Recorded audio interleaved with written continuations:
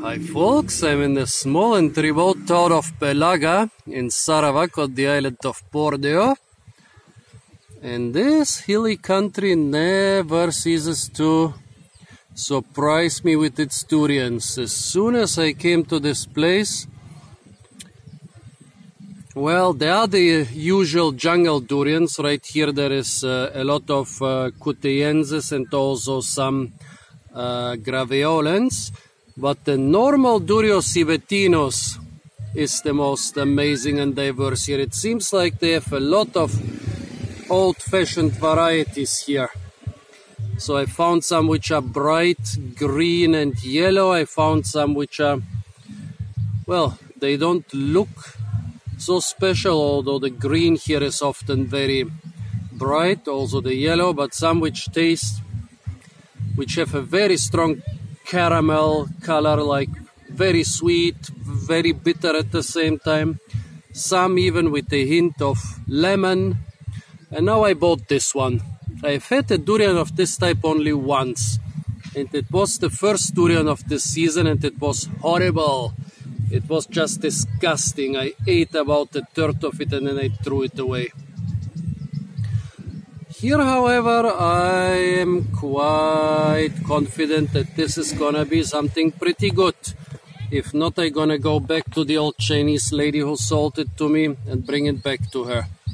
Now I will try to open this one while filming and while staying out of the sun.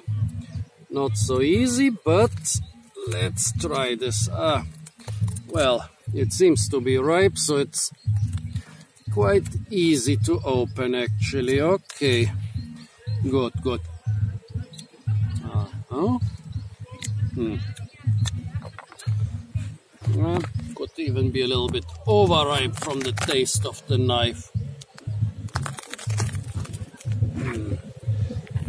Well, that's what it looks on the inside. It's quite a big durian if you haven't noticed.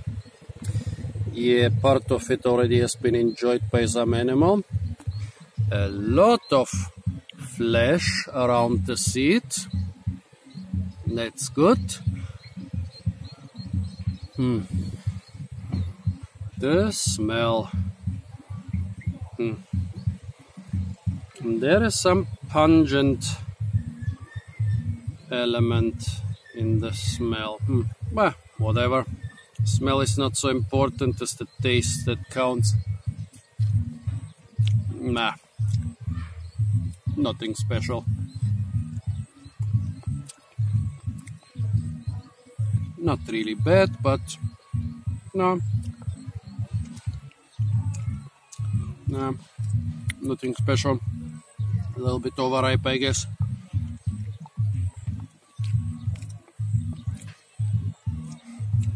Still, there is a hint of lemon. Not this one. How shall I describe it? Overripe, slightly overripe. Not disgustingly overripe, but would have been better a couple days ago.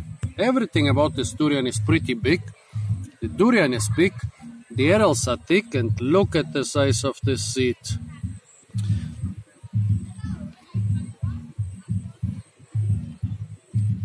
Well. Well, yeah, the arils are really soft and creamy. I like this. The taste. A little bit sweet. Hmm, could be could be sweeter in my opinion. Hmm.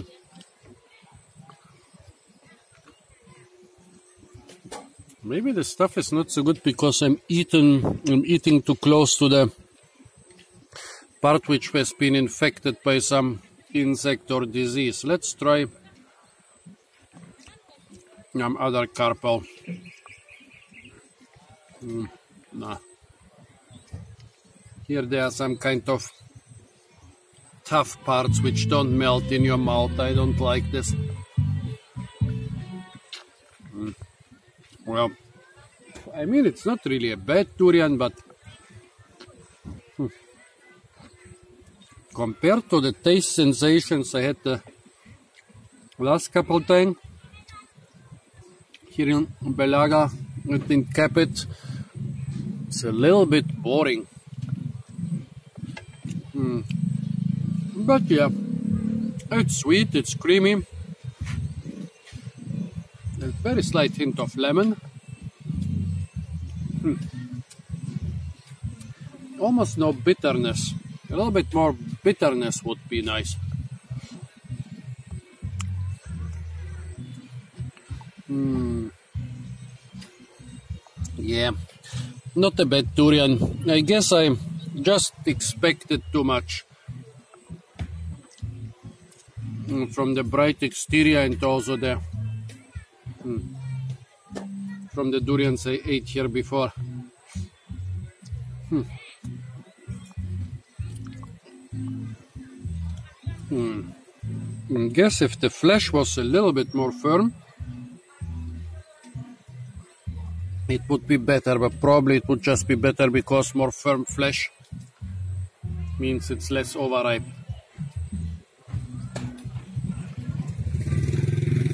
Mm. Okay.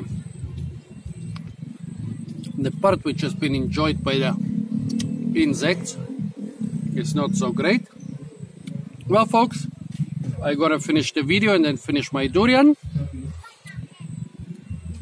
Wasn't a bad durian and it was a very bright durian. So stay tuned for more fruit videos from the jungles of Borneo and don't forget to like, share, comment and subscribe.